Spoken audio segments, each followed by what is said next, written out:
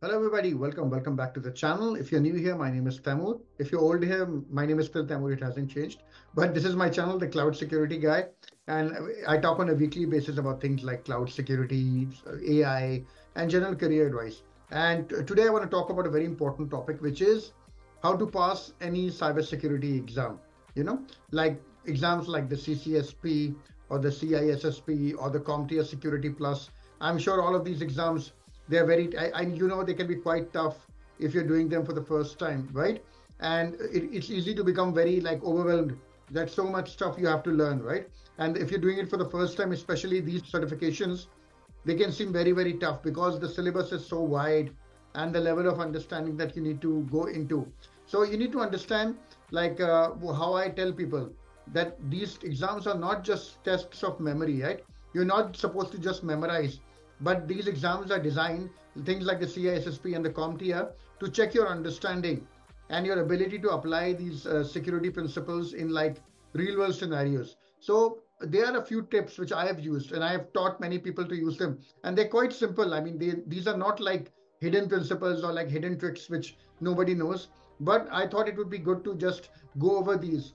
And I have used these techniques over the years, over like almost 20 years to go pass God knows how many certifications like the CSSP, the CISA, uh, CCSP, AWS related security certifications.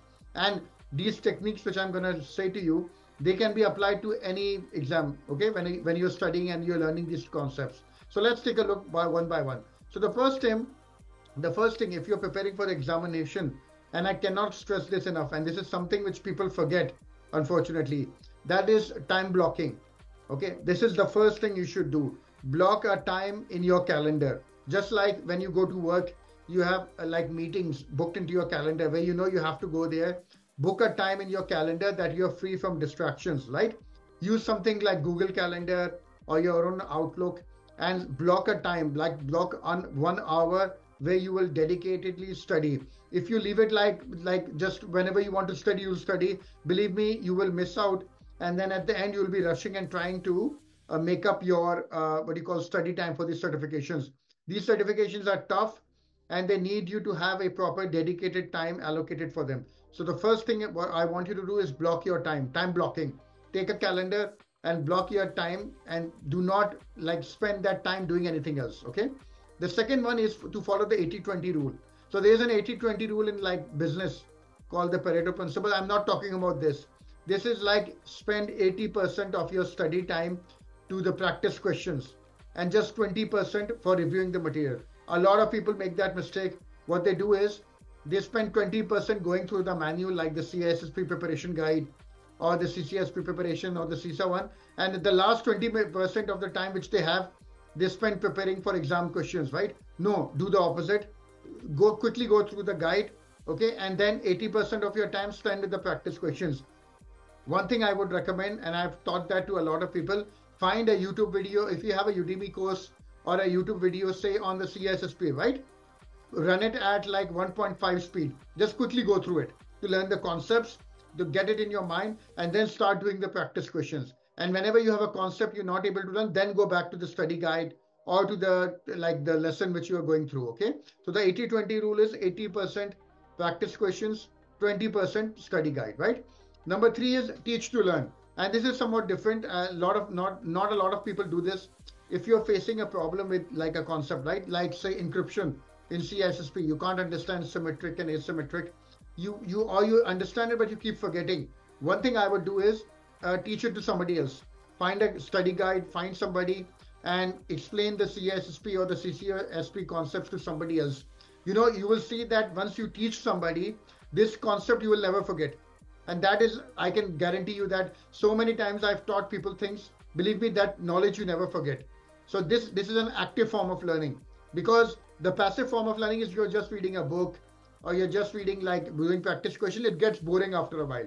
If you do it like this believe me the concepts will become permanently like they'll get stored in your mind okay?